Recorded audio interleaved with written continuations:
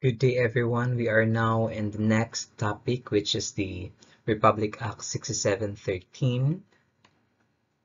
Uh, this laws, this law is not only applicable to those who are reviewing for licensure examination for teachers and for those who will be taking the principal's test, but for those also who are planning to join with the public service. So we have to review this one before we enter government service or in a public service. And of course, those who are already in the public service, this is the high time for you to review the RA 6713 so that we'll be reminded always the mandates and their roles and responsibilities as a public officials and employees in the government. RA 6713 or commonly known as the Code of Conduct and Ethical Standards for Public Officials and Employees. Kagaya ng mga different companies, they have also standards for their employees. Now, in the government service, RA 6713 is the standards for those public officials and employees in the government service. We will be dealing or we will be discussing only salient features of the provisions of the law. We will not be dealing all of those provisions, but uh, mga important provisions lang. This is just a quick review for all of us. It is the policy of the state to promote high standards of ethics in public service. Public officials and employees shall at all times be accountable to the people and shall discharge their duties with utmost responsibility, integrity, competence, and loyalty. We should have to act with patriotism, justice, lead modest lives, and uphold public interest over personal interest. This is a, the declared policies embodied in the 1987 Philippine Constitution. Section 4, Norms of Conduct of public officials and employees, we have eight norms. Number one is the commitment to public interest. Second is professionalism. Third is justness and sincerity. Fourth, political neutrality. Fifth, responsiveness to the public. Sixth, nationalism and patriotism. Seventh, commitment to democracy. And eighth is simple living. So you have to take note of these eight norms of conduct of public officials and employees. Dito lamang gumagalaw ang ang naturang batas. These eight norms of conduct of public officials and employees. We will go on one by one these eight norms. Commitment to public interest. Public officials and employees shall always uphold the public interest over and above personal interest. All government resources and powers of their respective offices must be employed and used efficiently, effectively, honestly, and economically, particularly to avoid wastage in public funds and revenues. Here, if you are a public um, officials, yung hindi naman kailangan, we should avoid that one in order to uh, avoid wastage in public funds. That, for example, the extravagance of uh, of the purchase of a certain food for trainings. So kung pwede namang simplihan lang, we have to go for the simple not for those um, extravagant na mga food, mga social na, di ba? And we have to take note that it is not our funds. but it is the funds of the public. So we have to use them uh, efficiently, effectively, honestly, and economically. The second one is the professionalism. It will not only talk about the profession you have, but uh, it talks about how you deal with the people professionally. So public officials and employees shall perform and discharge their duties with the highest degree of excellence. Ayan, professionalism, intelligence, and skill. They shall enter public service with utmost devotion and dedication to duty. They shall endeavor to discourage wrong perceptions of their roles as dispensers or peddlers of undue patronage. So we have to act professionally. Number three, justness and sincerity. So, kagaya ng um, in a in certain relationship, you have to be sincere with your uh, loved one or special someone. Mm. We have here public officials and employees shall remain true to the people at all times and they must act with justness and sincerity, and uh, shall not discriminate against anyone, especially the poor and the underprivileged. They shall at all times respect the rights of others and shall refrain from doing acts contrary to law, good morals, good customs, public policy, public order, and public safety and public interests. They shall not dispense or extend undue favors on account of their office to their relatives, whether by consanguinity or affinity, except with respect to the appointments of such relatives to positions considered strictly confidential, or as members of their personal staff whose terms are coterminous with theirs. Okay, next, political neutrality. Uh, dito rin makikita, it is also part of the uh, code of ethics for professional teachers, no? That we have to be politically neutral. All public officials, and employees shall provide service to everyone without unfair discrimination and regardless of party affiliation or preference. And of course, as a public official, we have also to become neutral, especially during election campaign. We could not campaign for and we could not campaign against to a certain um, so to a certain candidate for election. Next, we have five uh, responsiveness to the public from the word responsive. We should have to extend uh, prompt, courteous, and adequate service to the public.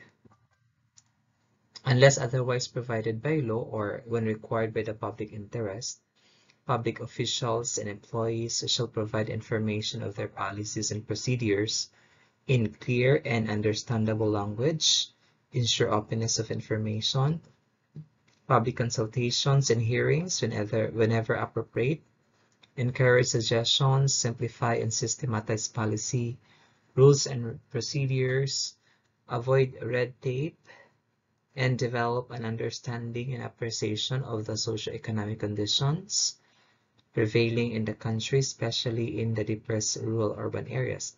As you can see in the conspicuous places in a certain halls of our municipality or our, our city halls, there is what we call a suggestion box. Diba? Nakikita natin mga suggestion box. So that is one way of uh, giving the public, one way of um, yeah, giving the, uh, consulting the public on what are the laps or the, the gaps in dealing with the public service of a certain employee. So there is what we call a suggestion box para mas maganda yung service in the coming in the coming years or the coming future undertakings. We have here nationalism and patriotism. Nationalism from the word uh, national, huh? and uh, patriotism from the word patriot. So we have at all times be loyal to the Republic and to the Filipino people. Promote the use of locally produced goods. Kung may mga locally produced goods tayo, kagaya ng mga uh, co coffee na ginagawa ng ating mga Blaan tribe or mga Manobo tribe or taga-Kaulo tribe in the different uh, mountainous areas of our locality.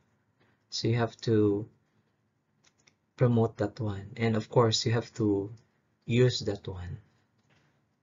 Resources and technology and encourage appreciation and pride of the country and people.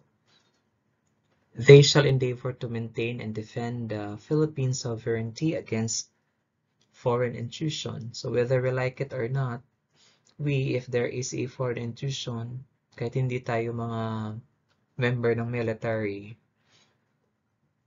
magiging uh, kaanib tayo o magiging kaisa tayo sa puwersa upang labanan yung mga mananakop. So we could, uh, like nangyari sa Ukraine, di ba? The civilians are part na ngayon ng mga uh, military personnel because of uh, they lack uh, military personnel to fight against the foreign intrusion in their country. So, ganun din, we have to uh, defend our Philippine sovereignty against foreign intrusion. So, nakasaad yan sa 1987 Philippine Constitution. 7. Commitment to democracy. Public officials and employees shall commit themselves to the democratic way of life and values, maintain the principle of public accountability, and manifest by deeds the supremacy of civilian authority over the military. They shall at all times uphold the Constitution and put loyalty to country above loyalty to persons or party. So above all, we have to become loyal to the laws of the land. There is, um, no one is above the law. And uh, the one way of having this democratic way of life and values is to participate in the democratic processes, such as this one, election. Diba? This is one way of exercising our uh, democratic way of life. So, kailangan din natin na mag-participate. That is our commitment to democracy. Simple living. Ayan. We have here, simple living, di ba? Makikita niyo yung mga public officials natin sa Facebook at Instagram. They are uh, having this extravagance na mga or ostentatious display of wealth. No? Now, as a public officials and employees and their families shall lead modest lives appropriate to their positions and income. So, kung ikaw naman ay uh, salary grade 1 in a certain LGU, so hindi naman pwedeng you're going to wear all of those pang madam-madam, di ba, na mga kasuotan. Because that is ostentatious display of wealth. And uh, we have to course, lead modest lives para maging pamarisan tayo ng ating mga subordinates and of course the public na tumitingala sa mga government officials. And they shall not indulge in extravagant or ostentatious display of wealth in any form. So ito yung sinasabi ko kanina. Though, um, this is very, this topic is very broad, simple living. What constitutes simple living and what, uh, what did not, no? Hindi natin ma-distinguish. So long that you are, um, it is not extravagant, because mafe-feel naman natin kung extravagant na ang ating mga nilalagay sa ating mga uh, ating mga katawan, 'di ba? And there are like um, mga rings na sinusuot natin instead of having one ring, talagang nilagay mo talaga sa lahat ng mga fingers mo yung mga rings, mga gold rings para ipakita na mas marami o mas mayaman ka sa kanila. So that is um, extravagant. And hindi naman nakakaliw tingnan, di ba? Kung may maraming mga uh, rings on your fingers, di ba? We have here section 5, duties of public officials and employees. So tapos na tayo sa 8 norms of conduct of public officials.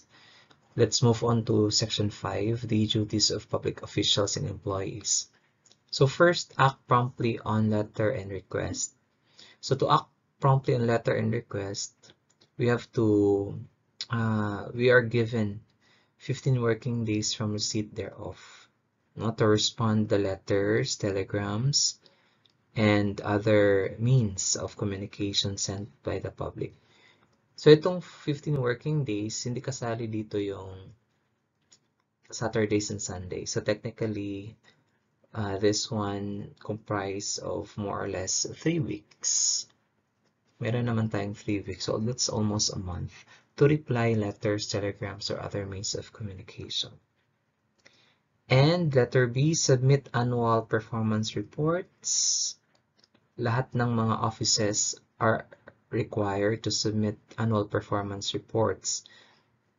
Even nga mga quarterly reports, like uh, yung mga financial uh, na mga offices such as Department of Budget and Management, Department of Finance, Treasurer's Office, and the LGU. So they are mandated to submit quarterly.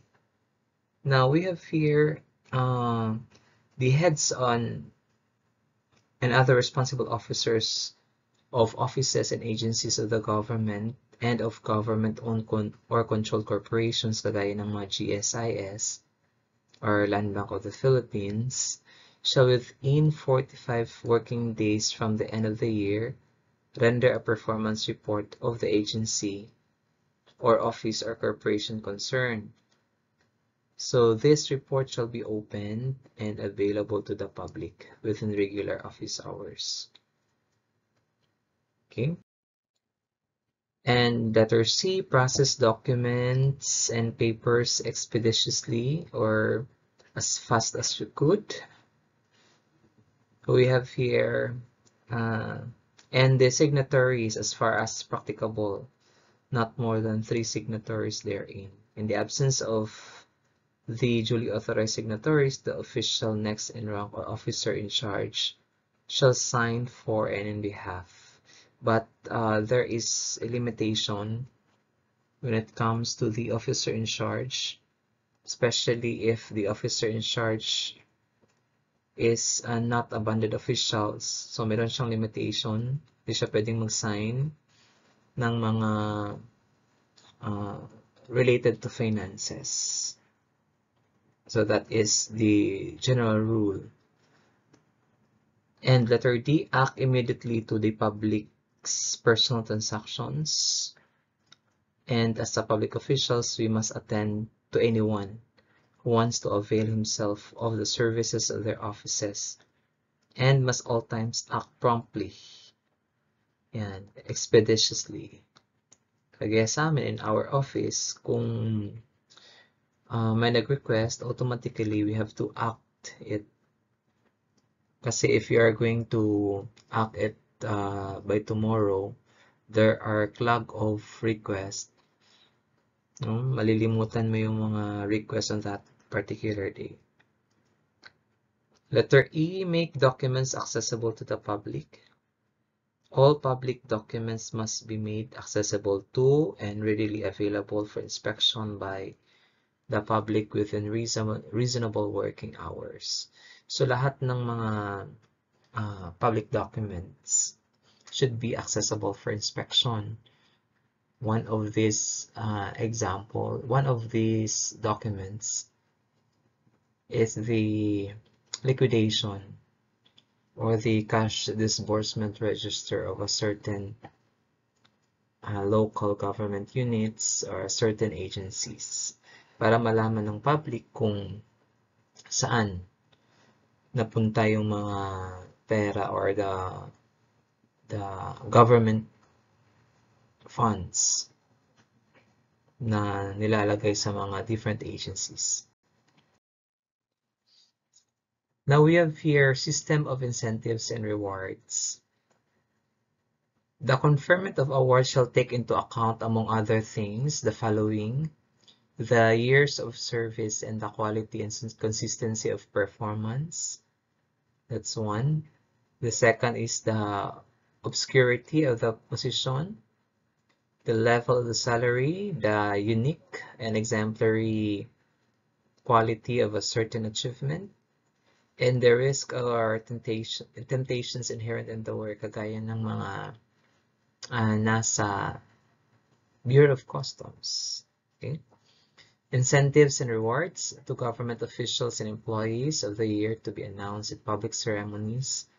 Honoring them may take the form of bonuses, citations, directorships in government-owned or controlled corporations such as GSIS, uh, mga, mga GOCCs, local and foreign scholarship grants, paid vacations like you'll be given a trip for two to England and the like. And uh, they shall likewise be automatically promoted to the next higher position. With the commensurate salary suitable to their qualifications. In case there is no next higher position or it is not vacant, said position shall be included in the budget of the office in the next General Appropriations Act. The Committee on Awards shall adopt its own rules to govern the conduct of its activities. Now, what are those prohibited acts and transactions? Letter A, financial and material interest. So as a public officials and employees, we should not uh, directly or indirectly have any financial or material interest in any transaction requiring the approval of their office or, or of our office. For instance, if you are in uh, in school, so of course you have no uh, financial interests like uh, the purchase of the school supplies or office of so office supplies. So kailangan wala kang stores na oh, wala kang tindahan na na mga school supplies or office supplies because technically as a head of a certain school dadaan yung mga approval when it comes to the purchase of those materials so there is a conflict of interest diba? and if you are in the uh, Bureau of Customs, diba? And uh, you are uh, purchasing a container van, mga container vans na mga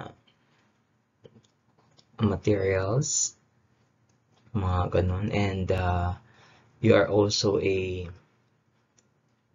a de dealer or a seller of container vans mga empty container funds. So that is a conflict of interest. since it requires an approval to the transaction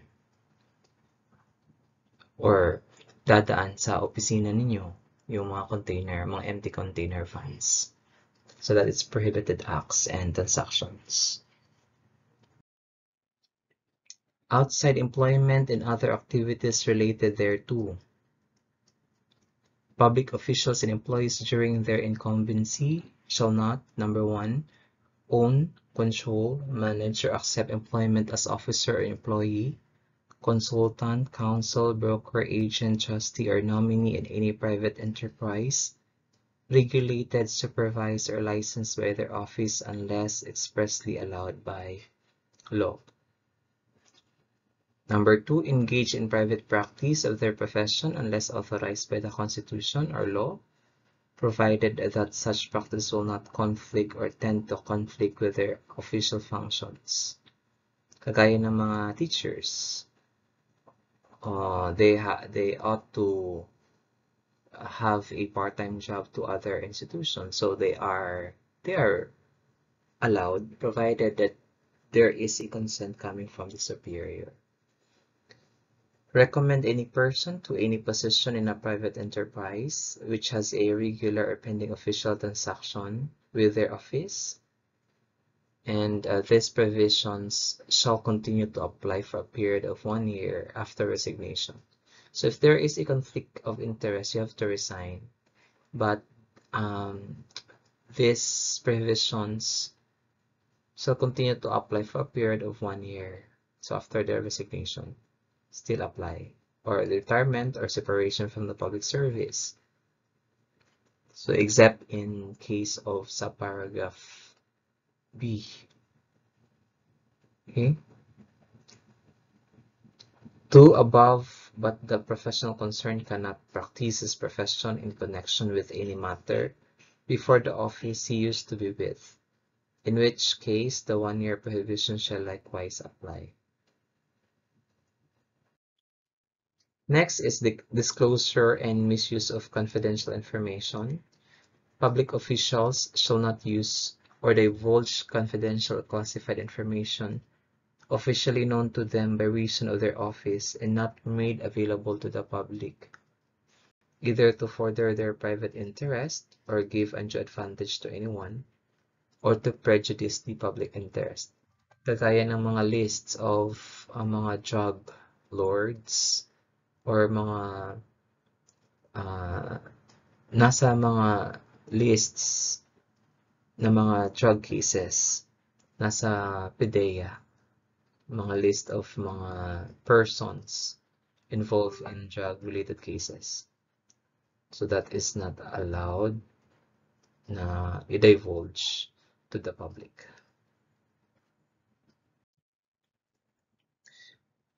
Next, we have solicitation or acceptance of gifts we should not uh, solicit or accept directly or indirectly any gift, gratuity, favor, entertainment, loan, or anything of monetary value from any person. So in the course of their official duties or in connection with any operations being regulated by or any transaction which may be affected by the functions of their office. So as to the gifts or grants from foreign governments, the Congress consents to Okay, number one, the acceptance and attention by a public official or employee of a gift of nominal value. So, ibig sabihin, hindi masyadong malaki. Tendered and received as a souvenir or mark of courtesy. Next is the acceptance by a public official or employee of a gift in nature of a scholarship or fellowship grant. So this is allowed. Or medical treatment. Next is the acceptance by a public official or employee of travel grants or expenses for travel taking place entirely outside the Philippines, so such as allowance, transportation, food, and lodging, of more than nominal value if such acceptance is appropriate or consistent with the interest of the Philippines, and permitted by the head of office, branch, or agency to which she belongs. For example, yung mga uh, kotse that is more than nominal value. But for the furtherance of the their roles and responsibilities of a certain government uh, agency, so they will accept that one. Okay. The Ombudsman shall prescribe such regulations as may be necessary to carry out the purpose of this subsection, including pertinent reporting and disclosure requirements. Nothing in this act shall be construed to restrict or prohibit any educational, scientific, or cultural exchange program subject to national security requirements. Next, we have here statements and disclosures. This is very um, the myth of this is the statement of assets, liabilities, and net worth, or the SALN, the submission of SALN. So we have an obligation as a public officials to accomplish and submit declarations under oath. Course, yung notaryado ng abogado. And the public has the right to know their assets, liabilities, and net worth, and financial and business interest, including those their spouses, of unmarried children and 18 years of age living in their households. So as a public official, we have to divulge all our assets as well as of course our liabilities in the different banks or any uh, credit firms.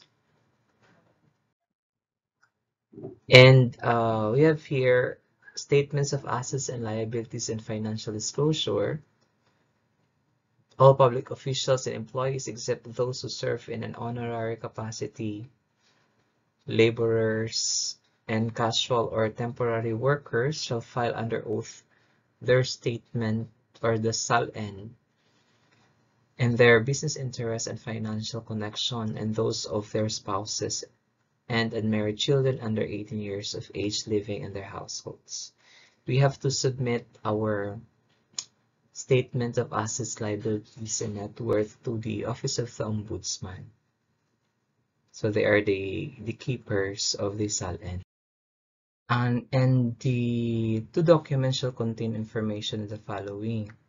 The real properties, its improvements, or lahat ng mga uh, yung mga fair market value or, or the assessed value of the said uh, property personal property and acquisition costs, all other assets such as investment, cash on hand or in banks, liabilities, and business interests and financial connections.